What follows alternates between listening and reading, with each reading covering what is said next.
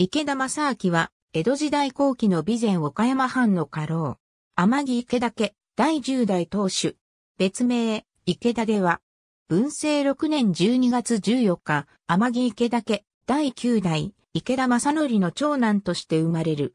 母は、先々、大当主、池田正隆の娘照子。高下2年、父、正則の死去により天城領三万国を相続。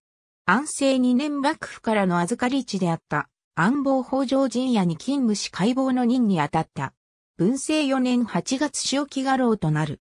源氏元年11月、幕府より長州政党の命が下り、兵を率いて出陣する。12月、清朝総督、徳川義勝に、藩主、池田茂制の長州処分案の意見書を提出した。慶応元年没。家督は、この清和が相続した。池田正明夫妻の墓父の池田正則は、生坂池田家出身で、天城池田家、第八代当主、池田正隆の娘、テール子をめとって、婿養子となった。弟の日置忠隆は、岡山藩家老、日置忠氏室の養子となった。妻の輝きは、広島藩家老、浅野忠隆の次女で、池田正則の養女。平成新州旧家族家系体制は二男一女を記す。